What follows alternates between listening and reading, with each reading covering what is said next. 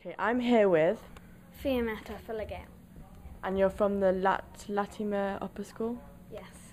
And is that a school of dance or? Um, no, it's um, a private secondary school, but we do have dance lessons extracurricular. Okay. So what type of dance are you doing?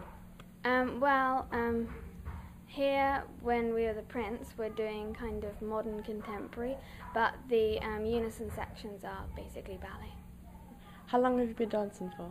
Well, I've been dancing since I'm three, so that's quite a long time. And I think it's maybe about 10 years, so quite a long time.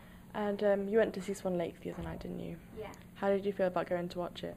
Well, it was really exciting because I was thinking, wow, in a few days' time, it's going to be us up there and we're going to be doing all that kind of stuff. So it was really exciting. Okay. On a scale of one to ten, how nervous would you say you are?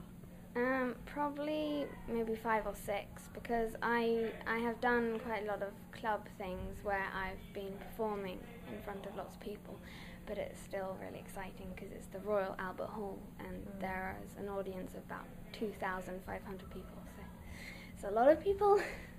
And um, what what role are you playing in Swan Lake? Um, we're the prince, which is really exciting because he's kind of the main person and he's like falling in love and being tricked and stuff. So it's really